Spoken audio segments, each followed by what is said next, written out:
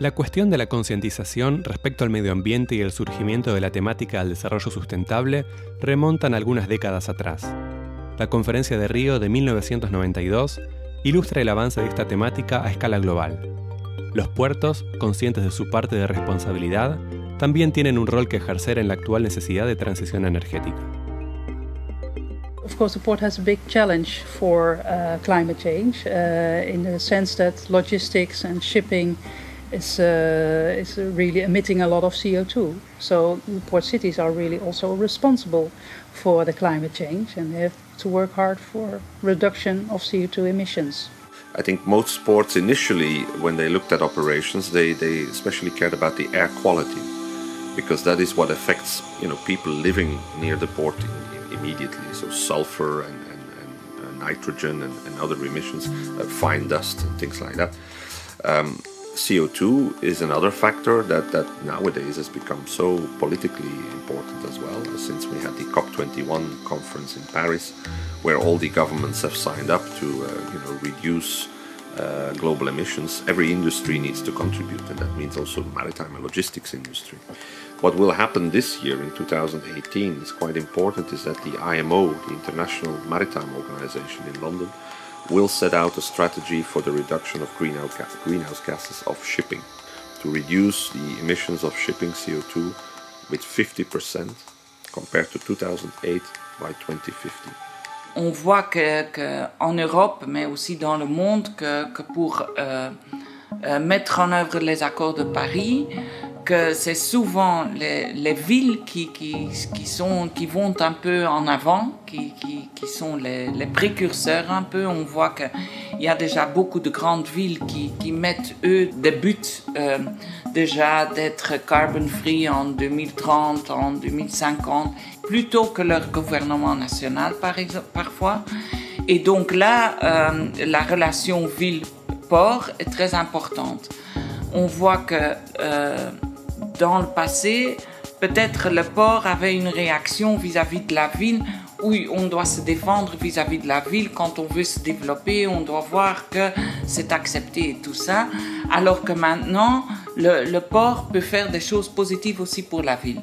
Parce que aussi bien euh, un port est très important dans l'approvisionnement de l'énergie, de l'énergie classique, disons, euh, mais elle jouera aussi, et elle joue et jouera encore un rôle très important aussi dans l'approvisionnement de, de, des énergies renouvelables, euh, dans tout ce qui, qui, va dans le sens de cette décarbonisation. Hay todo un programa de calidad del aire y estamos trabajando en cualquier aspecto que dentro del ámbito portuario, eh, tanto en el ámbito de los contenedores como en el ámbito de los cruceros, como en cualquier actividad, de minimizar el, el impacto ambiental. El tema también de el gas natural licuado, LNG.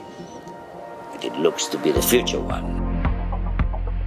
On se rend compte que dans le cadre de tout ce qui peut être mis en avant pour euh, réduire les impacts et les nuisances qui peuvent être euh, occasionnés par euh, des, stationnements de navires, qui soient euh, en, territoire urbain ou même en territoire euh, euh, comme à Fos, et pour accompagner les nouvelles réglementations européennes qui vont sûrement évoluer dans les années à venir, les armateurs doivent mettre en place de nouvelles solutions en matière de propulsion. Une de ces nouvelles solutions technologiques en matière de propulsion de navires, c'est de remplacer la propulsion au fuel traditionnel, même s'il est à basse teneur en soufre, par une propulsion au gaz naturel liquéfié. Il y a des décisions qui viennent d'être prises par euh, des armateurs internationaux, notamment sur la filière des navires de croisière, puisque MSC et Costa ont euh, commandé euh, auprès des chantiers navals de Saint-Nazaire en France euh, de nouvelles unités qui sont propulsées au GNL. Et puis récemment, euh, on a euh, appris que le groupe CMA-CGM avait également passé commande auprès de chantiers chinois de navires porte-conteneurs qui seront eux aussi propulsés au GNL. C'est un passage progressif, mais sans un abandon des industries traditionnelles, d'un mode de schéma industriel vers un autre mais les nouvelles industries auront besoin des anciennes. Il y a une synergie qui s'opère entre celles-ci.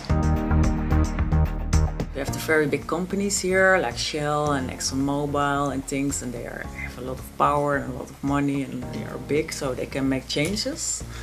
But I also think the innovations coming mostly from the smaller companies and the young people and, and the more creative people. So I think you need them both. Il y a plus d'initiatives locales et quand on voit effectivement la lourdeur sur certaines directives européennes, voire euh, la lourdeur pour euh, au niveau complètement international créer un accord comme celui de, de Paris, il est bien évident que pour aller plus vite, l'initiative locale, qu'elle vienne des citoyens, qu'elle vienne des institutions politiques, qu'elle vienne du secteur économique ou du secteur portuaire, elle est très importante. Diciamo, per quanto riguarda la cosiddetta Smart City, Smart Port, eh, siamo abbastanza avanti, abbiamo efficientato tutti gli impianti di condizionamento e riscaldamento con grandissimi risultati in termini proprio di risparmi e di riduzione delle emissioni. Abbiamo trasformato a LED tutta l'illuminazione dell'area con risparmi fino al 67%. Abbiamo dal novembre 2015 un impianto fotovoltaico che produce il 6-7% del nostro fabbisogno, ancora poco ma è un, un inizio e poi abbiamo, siamo diventati un polo della mobilità elettrica cittadina con 5 stazioni di ricarica di cui due fast, molto veloci, e poi stiamo cercando di far sì che tutti eh, i soggetti che operano per servizio, quindi la sicur- dalle sicurezza alle manutenzioni, viaggino nell'area con mezzi elettrici.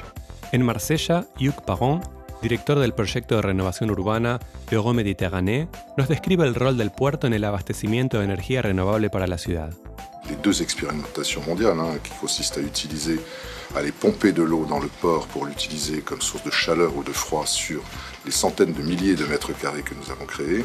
C'est la thalassothermie.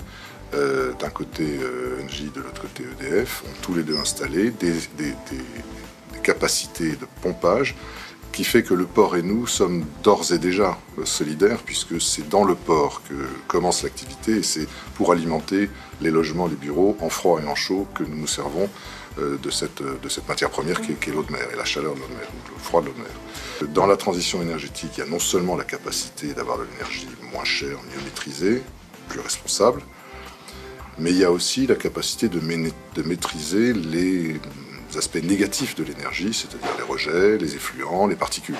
Donc de ce côté-là, que ce soit le port ou les collectivités euh, locales, il y a de gros efforts à faire parce que nous installons désormais des populations. L'écologie industrielle, qu'est-ce que c'est? C'est une approche à la fois théorique et pratique qui cherche à accompagner l'évolution du système économique industriel pour essayer de le rendre compatible avec l'environnement. Donc ça suppose par exemple qu'on essaye de minimiser les déchets, notamment en utilisant les déchets des uns comme une ressource pour d'autres, par exemple, c'est ce qu'on appelle les symbioses industrielles, où on va essayer de substituer aux traditionnels combustibles fossiles des, ce qu'on appelle des biocarburants ou des biocombustibles, mais qui eux-mêmes ont besoin d'être transportés généralement sur de grandes distances. Et là, de nouveau, on voit que les ports sont en train de jouer un rôle majeur, crucial, dans les nouvelles voies de transport des carburants de demain qui sont en train petit à petit de remplacer les carburants fossiles. Alors, il y a encore l'avenir qui est en train de se préparer. On voit que comme il y a un fort développement de l'énergie éolienne et que très souvent l'énergie éolienne consiste en des champs d'éoliennes en mer, eh bien les ports sont aussi en train de devenir des lieux où peuvent se construire, s'assembler. Et donc ça, c'est un rôle vraiment nouveau des ports qui est en train petit à petit euh, aussi de monter en puissance. Et on peut voir encore plus loin. On voit qu'il y a des nouvelles filières qui potentiellement peuvent émerger. Et je pense notamment à tout ce qui est en train de se préparer autour de l'utilisation du CO2.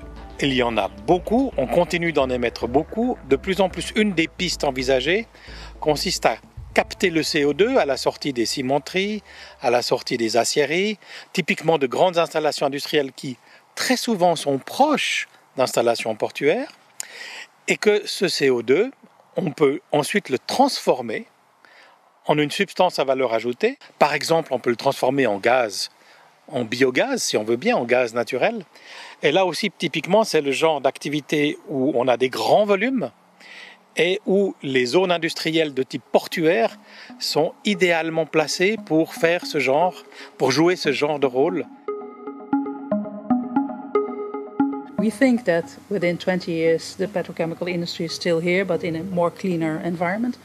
Uh, however, yeah, we, we take in account that one or two refineries will, will maybe uh, break down uh, in, uh, sometime, and then we have huge land. Um, in this case, I don't think we should use it uh, for real intensive urban development, but we should consider the production of sustainable energy solar uh, energy uh, takes a lot of space. Uh, wind energy as well. Maybe in a very far future we give back to some nature. Why not? The port took the nature, especially in this case in this delta. Um, if the society needs uh, more uh, green areas around Rotterdam, can be a solution as well.